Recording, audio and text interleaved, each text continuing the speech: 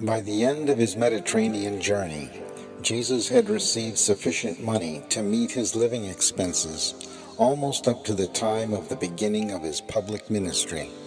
But aside from Zebedee of Capernaum and the people whom he met on this extraordinary trip, the world never knew that he made this journey.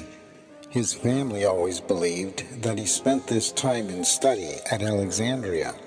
Jesus never confirmed these beliefs, neither did he make open denial of such misunderstandings. The Urantia Book, paper 134, section 1, paragraph 2.